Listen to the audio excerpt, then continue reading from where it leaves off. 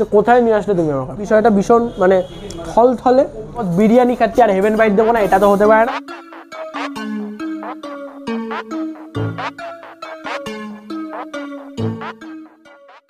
Good morning আরেকটা নতুন video আরেকটা একদম নতুন জায়গা এবং আসানসোল পার্ট টু হচ্ছে এটা। এবং আমরা কিন্তু সেকেন্ড দোকানে মানে সেকেন্ড জায়গায় কিন্তু খেতে চলে এসেছি। এটা দোকান নয় সরি দোকান নয়, এটা হচ্ছে রেস্টুরেন্ট সেকেন্ড রেস্টুরেন্টে খেতে চলে এসেছি। এই জায়গাটার নাম হচ্ছে রয়্যাল হোটেল আসানসোলে একটা ফেমাস জায়গা হচ্ছে এই রয়্যাল হোটেল এখানে যেটা ফেমাস সেটা হচ্ছে বিরিয়ানি। আসানসোলে এসে যদি কোথাও ভালো বিরিয়ানি কোথাও তাহলে অনেকেই সাজেস্ট করছে এই জায়গাটা। আমরা এখানে বিরিয়ানিটা খেয়ে দেবো ঠিক কীরকম। তো চলো আপাতত ভেতরে যাওয়া যাক এবং এখানে লেখা আছে সিন্স নাইনটিন সেভেন্টি এইট মানে উনিশশো আটাত্তর সাল থেকে কিন্তু এই দোকানটা চলছে। বেশ পুরনো। এই আসানসোলে আমি যেটা দেখলাম না, বেশিরভাগ জায়গায় কিন্তু মাটন পাওয়া যায় না চিকেন বিরিয়ানি পাওয়া যায়। তো জানি না কেন বাট এখানে মাটন পাওয়া যায়, তো আমরা অবভিয়াসলি মাটন বিরিয়ানিটা ট্রাই করব। তো চলো এবার ভেতরে যাওয়া যে বাকি কথাবার্তা হচ্ছে, আর তার আগে যারা যারা এখন অব্দি চ্যানেলটাকে সাবস্ক্রাইব করেনি, তারা তারই সাবস্ক্রাইবটা করে নাও, কারণ ভালো লাগে সাবস্ক্রাইবটা করে কিন্তু অবশ্যই বেল আইকনটাকে বেস করবে। চলো।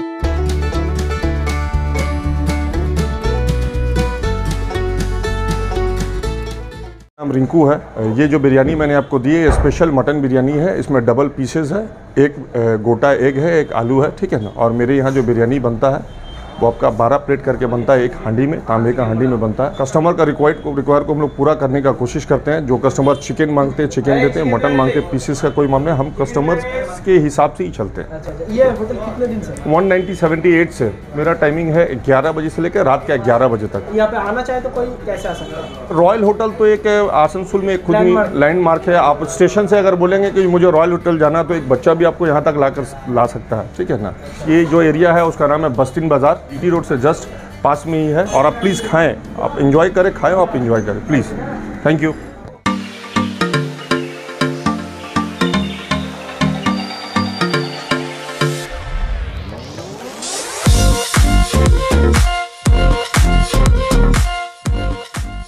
রেস্টুরেন্টের ভিতরে কিন্তু ঢুকে বসে পড়েছি এবং ঢুকে শুধু বসে পড়িনি জাস্ট বসে হার্ডলি হয়তো তিন চার মিনিট হবে।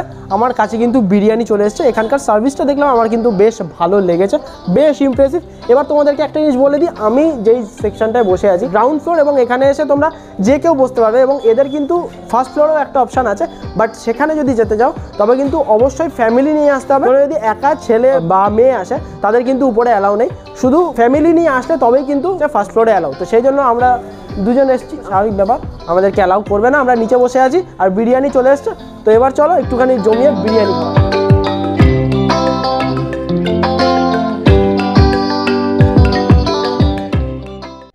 তো এই হচ্ছে আমাদের বিরিয়ানি, আর আমরা যেটা নিয়েছি সেটা হচ্ছে এখানকার স্পেশাল মাটন বিরিয়ানি। সেটার প্রাইস তোমাদেরকে বলে দিই থ্রি ফিফটি দামটা কিন্তু একটু হাই রেঞ্জের ঠিক আছে? এই হচ্ছে তার কোয়ান্টিটি এটা তবে একটা জিনিস বলে দিচ্ছি, সাড়ে তিনশো টাকারটা নিলে চোখ বন্ধ করে দুজন ভাগ করা যাবে এবং এদের যে মানে মাটনের পিসগুলো থাকে, ওগুলো একশো দশ গ্রামের এক একটা পিস থাকে। পিসগুলো বেশ ডিসেন্ট সাইজের পিস আছে, ঠিক আছে? এটা মানে বলতে পারছি না ছোটো ছোটো পিস বেশ বড় বড় একটা এবং দুটো এরকম পিস আছে, যেহেতু আমরা স্পেশাল নিচ্ছি এটা কিন্তু ডিম থাকে। এখন যে প্রিমিয়াম কোয়ালিটির বিরিয়ানিগুলো থাকে, সেগুলো কিন্তু ডিম দেয় না বাট এটাতে ডিম দেওয়া হয় এবং এক পিস আলু, বিশাল কোয়ান্টিটির রাইস অর্ধেকটা আগেই তুলে রাখছি।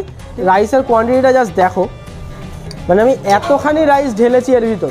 তারপরেও কিন্তু আমার থালায় যা আছে, আরামসে আমার পেট ভরে যাবে। শুরু করা যাক, অনেকক্ষণ কথাবার্তা বলেছি এবং আমাকে বলল যে, তাড়াতাড়ি খেতে, গরম গরম খেতে, তাহলে নাকি অরিজিনাল টেস্টটা পাবে। যে কোনো খাবার তোমরা গরম গরম খাবে, তাহলে কিন্তু এটা অরিজিনাল টেস্টটা তোমরা পাবে। তো যাই হোক, আমিও শুরু করছি। চালটা আমার যতদূর দেখে লাগছে, বেশ সুন্দর কিন্তু ময়েস্ট এবং হাতে কিন্তু তেল তেলে ভাব এসছে। মানে একটু তেল তেলে এবং গ্রিসি এবং মানে মশলাদার বিরিয়ানি যাকে বলে সেরকম। এবং গন্ধ কিন্তু খুব হালকা, সেরকম যে বিরিয়ানির একদম আতরের যে একদম মমা করছে গন্ধ, সেরকম নয়। একদম লাইট মুখে চালান করে দেখা যাক যে কীরকম টেস্ট চলো।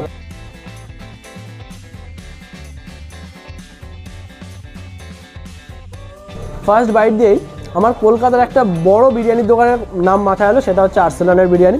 অনেকটা এরকম টেস্ট খুব একটা বেশি মশলাদার হয় না, একদম ব্যালেন্স থাকে বিষয়টা। দাদাবৌদি যেমন খুব রিচ করে দেয়, আমার কিন্তু খেতে বেশ ভালো লাগে, কিন্তু দাদাবৌদি বিরিয়ানিটা বেশ রিচ কিন্তু আর্সেলানেরটা খুব রিচ থাকে না, হালকা লাইট এটা ঠিক সেরকম বলতে পারো, এটা কলকাতা স্টাইল বিরিয়ানি, খুব হেভি নয় আবার খুব লাইটও না এই হচ্ছে আলুটা।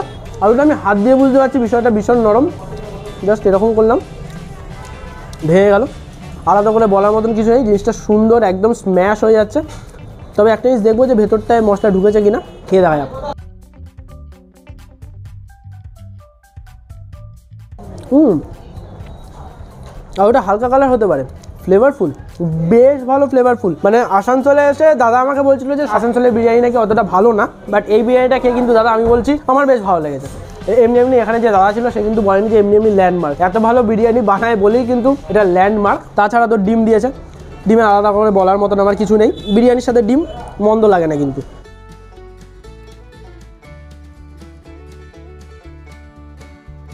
এবার যেটা খাব, সেটা হচ্ছে মাটনটা বস এটার জন্য আমি বসেছিলাম এবং মাটনটা আমি হাত দিয়ে বুঝতে পারছি বিষয়টা ভীষণ মানে থলথলে একদম চর্বি আর মিটের পোর্শনটা একদম পারফেক্ট আছে। বিষয়টাকে ভেঙে দেখা যাক সুন্দর ছেড়ে আসছে জাস্ট দেখো। ক্যামেরায় আসছে ফোকাস হচ্ছে একদম সুন্দর আ হা এরকমভাবে ছেড়ে যাচ্ছে ও ও জাস্ট হালকা হাত দিতেই খুলে গেল। এটা হচ্ছে মিটের পার্টটা এই পার্টটা হচ্ছে চর্বির পার্টটা আমি একটুখানি কামড় দিয়ে খাব চলো। উম,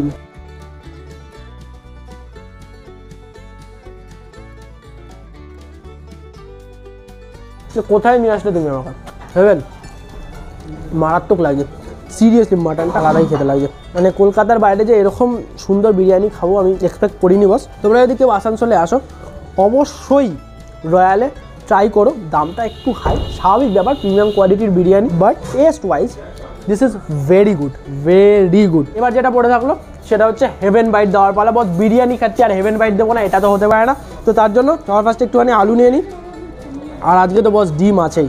হা হা আর মাটন এই যে চর্বিটা আছে মাটনে ওটা নিয়ে নেব। আর এই যে রাইসের সাথে মেখে, এরকম বড় সড়ো একটা বাইট নিয়ে মুখে চালান করব। চলো।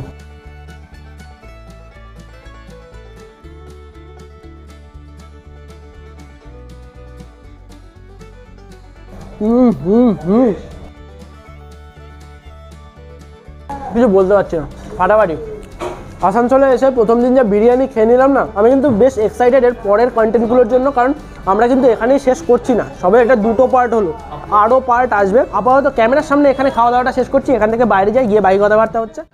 তো আমার খাওয়া দাওয়া হয়ে গেছে কমপ্লিট আর আমি রয়্যাল বিরিয়ানি থেকে কিন্তু বেরিয়ে এসেছি। আর আমার এক্সপিরিয়েন্স যদি তোমাদেরকে বলতে হয় বস আমার কিন্তু বেশ ভালো লেগেছে এবং প্রিমিয়াম কোয়ালিটির বিরিয়ানি খেলাম। হ্যাঁ দামটা একটু বেশি মনে হতে পারে বাট টেস্ট ওয়াইজ কিন্তু আমার বেশ ভালো লেগেছে এবং দেখো মেনলি ব্যাপারটা হচ্ছে, এটা কলকাতার সাথে যদি সবসময় তুলনা করো, তাহলে কিন্তু পসিবল নয়।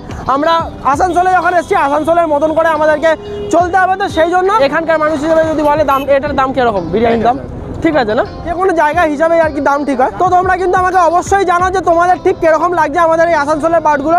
কমেন্ট বক্সে আরও কিন্তু পার্ট আসছে পরপর আসতে থাকবে। তো আপাতত এই ভিডিওটা এখানে শেষ করছি। যদি এতক্ষণ ভিডিওটা দেখে তোমার ভালো লেগে থাকে তাহলে অবশ্যই একটা লাইক দেবে এবং চ্যানেলটা কিন্তু সাবস্ক্রাইবটা করে বেল নোটিফিকেশনটাকে অন রাখবে। কারণ এরকম ভালো ভালো এরকম ইন্টারেস্টিং ভিডিও যদি সবার আগে দেখতে চাও তাহলে তো বেলটাকে প্রেস করতেই হচ্ছে। তো দেখা হচ্ছে নেক্সট ভিডিও ততক্ষণের জন্য। Bye.